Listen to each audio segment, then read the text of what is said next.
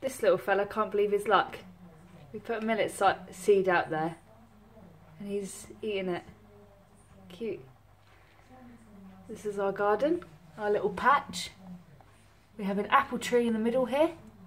The pot still growing, new life. And these are all bits of tomatoes just to fertilise it, to compost. And there's going to be some spinach growing on the left of the apple tree. And where this pigeon is, I'm going to plant some flowers in soon. But this pigeon, what's he eating now? Just bits, bits and bobs. Ah, he's good. Ah, loves it.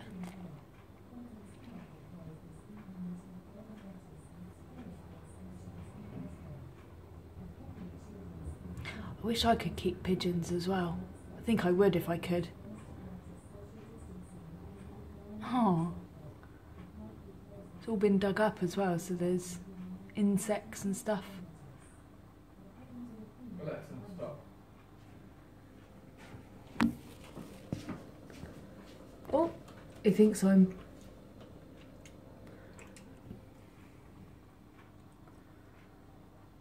Pedro the pigeon. His name is Pedro, he's a pigeon. He come to eat the millet seed. Pedro the pigeon. Come to eat his millet seed. Dun dun dun dun dun dun dun dun dun dun dun dun. He sees us. Knowing me, knowing you. Ha ha ha ha. There is nothing we can do. Make sure to wash your hands, wet your willy, apply some soap, scrub all over, rinse your willy, dry your willy. This is how you wash your willy.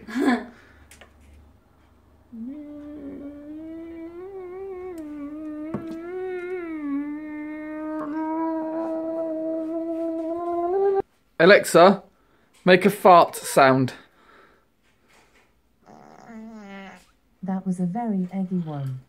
Try asking me for a relaxed. Alexa, stop. Okie dokie. Okie dokie. Alexa, how do you spell vaginal? Vaginal is spelled V A G I N A L. Have you seen these face masks? What your dad did? Vaginal. Look, Yeah, I know. I'm not going to put it over my face because he's put it over his, but. Because then it'd be like you're nap- kissing him. A napkin. I laughed. He told me not to laugh. And Or here's a better solution: don't go out. some